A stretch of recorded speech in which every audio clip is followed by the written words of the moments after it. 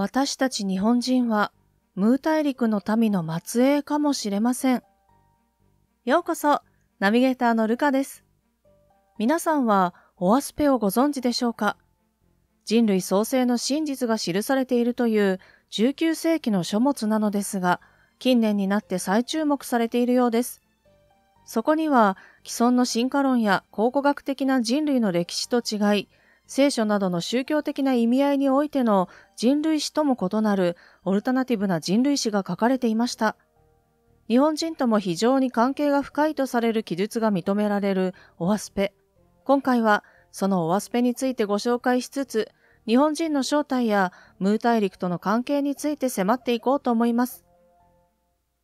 刑事書、オアスペによる驚愕の人類史。1880年、アメリカ、オハイオ州の開業歯科医であるジョン・ニューブローは、長年研究していた自動書記により、天使からの啓示を受けました。タイプライターに向かったニューブローの両手に突然光が当たり、自分の意思とは無関係にキーボードを打鍵し続けるという現象が起こったのです。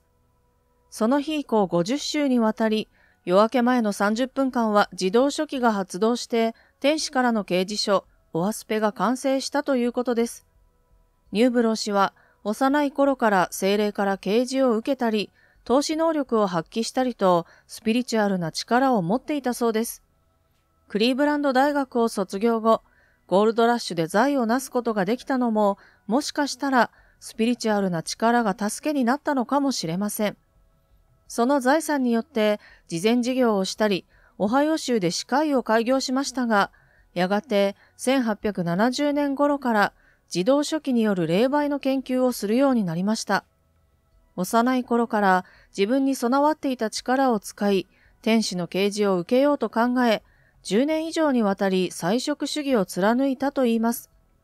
自動書記により完成したオアスペは、1882年に出版されると、新しい聖書と呼ばれ、多くの熱烈な支持者を得ることになり、1884年にはニューメキシコ州にシャラムコロニーが設立され、信者たちが共同生活を送ることになりました。コロニーを形成するほどに人々を引きつけたオアスペがどのようなものだったかと言いますと、創造主と人類史について描かれた200万文字にもわたる壮大な掲示書です。オアスペの地球創生史によりますと、宇宙は3層からなり、神が存在するエーテリア界、霊体が存在するアトモスフェリア界、物質が存在するコーポリアル界に分類されているそうです。この3層の宇宙を作った創造主は、ジェホビーと呼ばれ、7万9000年前に最初の人類、アスを誕生させました。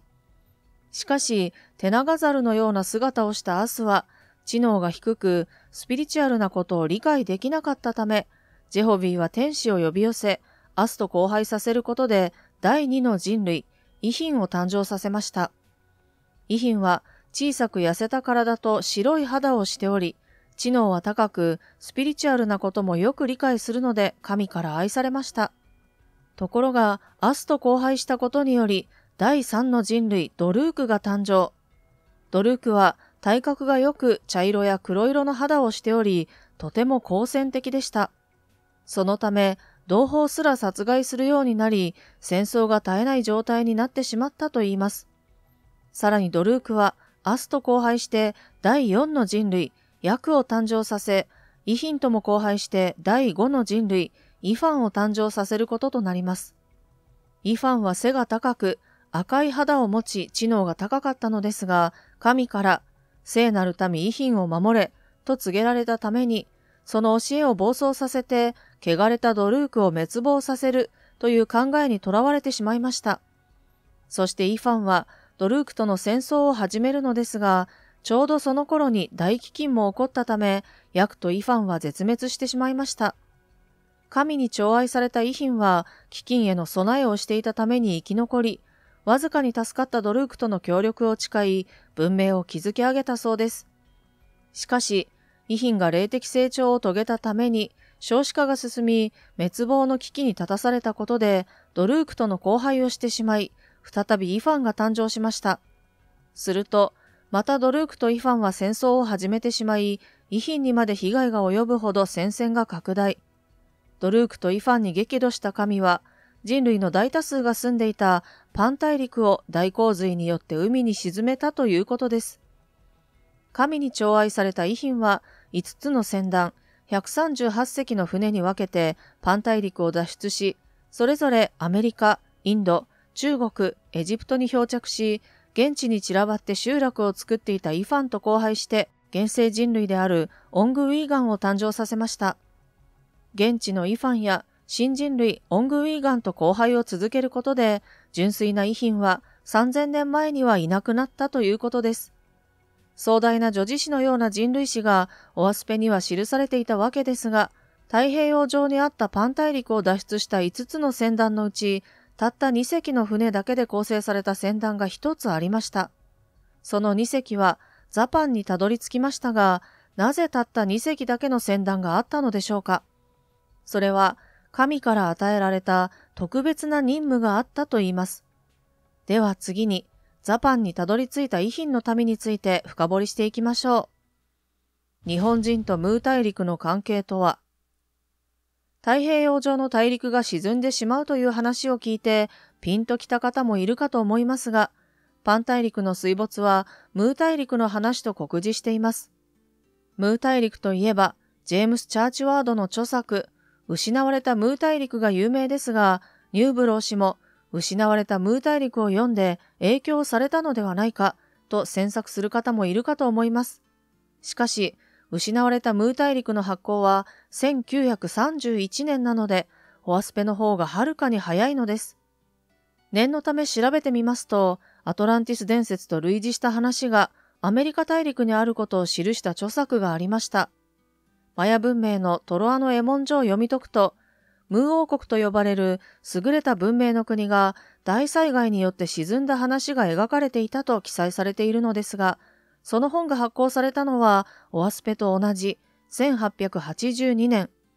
つまり、ニューブロー氏はムー大陸について知る由もなかったわけです。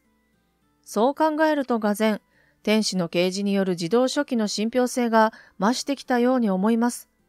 本人の知り得ないマヤ文明の伝承を言い当てているのですから、オアスペはニューブロー氏の妄想であるとは一概には言えなくなったのではないでしょうか。さて、話をムー大陸とパン大陸に戻しますと、二つの大陸は同じ大陸を指していることが分かりました。では、ザパンとはどこを示しているのでしょうかオアスペによりますと、ザパンとは残ったパン大陸という意味で、沈没を逃れたパン大陸の一部のことだそうです。そして太平洋の北に位置するザパンを現在の地図に置き換えてみると、まさに日本と一致するということです。つまり、2隻の船に乗って漂着した遺品たちが日本人の祖先だということになります。しかし、遺品といえば人種的には白人に該当するのではないでしょうか。日本人の祖先が白人というのは、ちょっと信じられない仮説だと感じる人も多いことでしょう。ところが、実はその仮説はありえなくはないというエピソードが歴史の事実としてあります。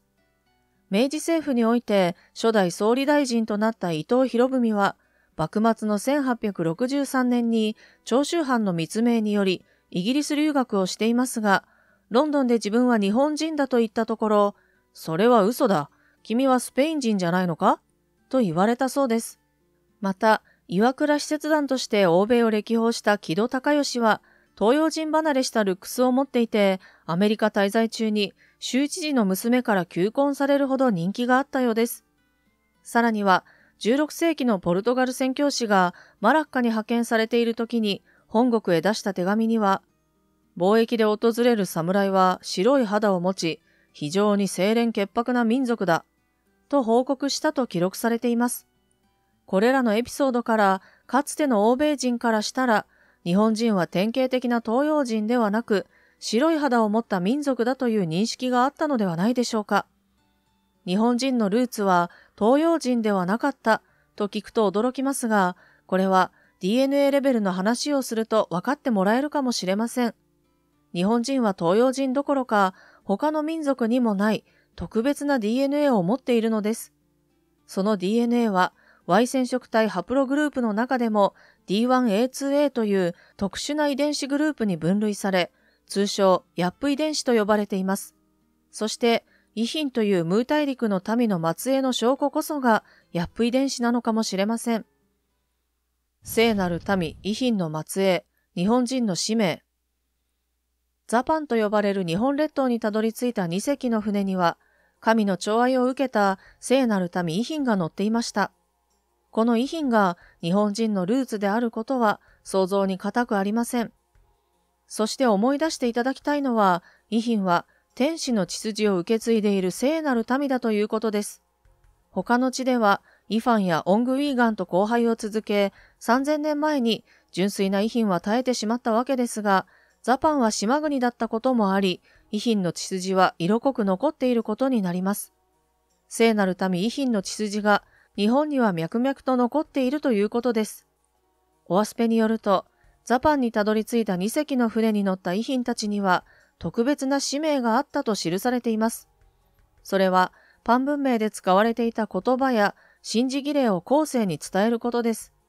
それらを通して、神に愛された遺品の高度な霊性や精神を地上に残しておくことが使命として託されました。この話を聞くと、日本において神道という特殊な宗教が現代においても根付いている理由がわかります。他の国々においては、土俗的宗教やアニミズム的宗教は世界四大宗教に淘汰され、取って代わられています。しかし、日本だけは八百万の神々を祀り、神事を執り行う宗教として21世紀まで継承してきました。大震災など大災害に接した場合でも、大規模な略奪や暴動などを起こさない高い冷静、精神性を保っています。これはひとえに聖なる民、遺品の末裔として使命を果たし続けているからではないでしょうか。オアスペにおいて世界四大宗教は四頭の獣と呼ばれ意味嫌われました。確かに世界四大宗教のうちキリスト教とイスラム教は常に争いの種になり続け、命を落とす人は数知れぬほどです。仏教もまた宗派争いや仏教一揆などで騒乱を起こしてきた歴史があります。バラモン教はカースト制によって仮想階級の人々を苦しめてきました。こうした既存宗教への批判のせいで、オアスペは圧力がかけられてメジャーな存在になれなかったのかもしれません。高い霊性と精神性を持った遺品を純粋な形で残そうとしたのは、オングウィーガンによる荒廃した世界を救う時が来ることを見越しての采配ではないでしょうか。いつか遺品の末裔が住む日本が天国の見業を解き放つ鍵となるかもしれません。さて、いかがだったでしょうか日本人がムー大陸の民の末裔だったという仮説には驚きましたね。聖なる民の末裔と聞くと、襟を正す思いがします。オアスペについてはまだまだ深掘りしたい情報があるかもしれませんので、今後も調査を続けたいと思います。